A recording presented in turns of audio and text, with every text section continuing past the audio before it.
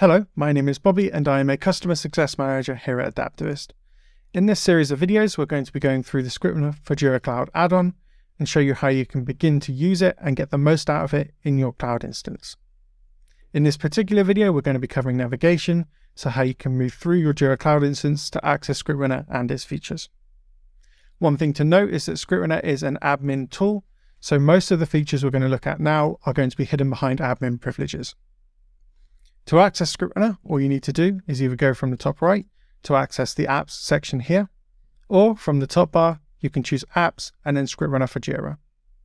This takes you through to the home page, which has useful information and documentation that you can use to get started with ScriptRunner.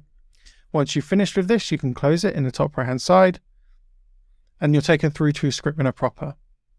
As you can see on the left hand side, we have all of the features listed down here, and that is also listed across the top as well for, for personal preferences. From here, we can start to access the features, so I can access the script console and start to write my scripts, or I can access script listeners, view existing ones, and create new ones. We also have access to the settings and admin tools of ScriptRunner itself from this list. So for example, I can go to logs to see logs coming from my scripts to see what's failing or what's succeeding and audit logs to see what changes have been made in ScriptRunner and by who and when.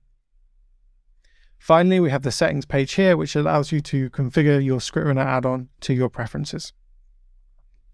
There are some elements of ScriptRunner that are not located in the this section here. So the first one to mention is Enhanced Search.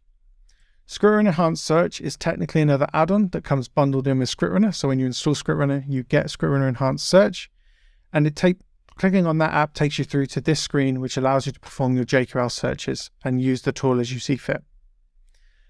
Another feature that is technically another app is behaviors. So if you go through to ScriptRunner again, you can see we have behaviors listed here. And here from here, you will need to install the behaviors app so that you can use it in your cloud instance. However, as with enhanced search, it comes bundled with ScriptRunner, so you do not need to pay any additional fee.